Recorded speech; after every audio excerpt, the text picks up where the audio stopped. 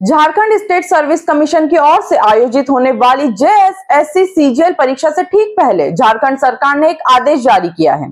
झारखंड के सभी चौबीस जिलों में दो दिन इंटरनेट सेवा बाधित रहेगी। जी हाँ सही पढ़ा आपने। जेएसएससी सीजीएल परीक्षा के दौरान समूचे झारखंड में इंटरनेट सेवा बाधित रहेगी। झारखंड सरकार के ग्रह कारा एवं आपदा प्रबंधन विभाग ने 20 सितंबर की रात को जो आदेश जारी किया है, उसमें कहा है कि फ्री, फेयर और ट्रांसपेरेंट ढंग से परीक्षा संपन्न कराने के उद्देश्य से सरकार ने जेएसएससी सीजीएल परीक्षा के दौरान इंटरनेट सेवा को बाधित करने का फैसला किया है, ताकि मेधावी विद्यार्थियों को कुछ जालसाज लोगों की जालसाजी का शिकार न होना पड़े।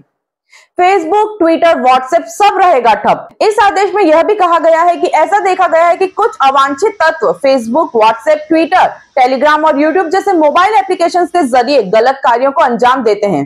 ये सारी चीज़ें इंटरनेट या वाईफाई से चलती हैं इसलिए सरकार ने परीक्षा की अवधि के दौरान सुबह आठ बजे से डेढ़ बजे तक इंटरनेट सेवा को बाधित रखने का आदेश जारी किया है।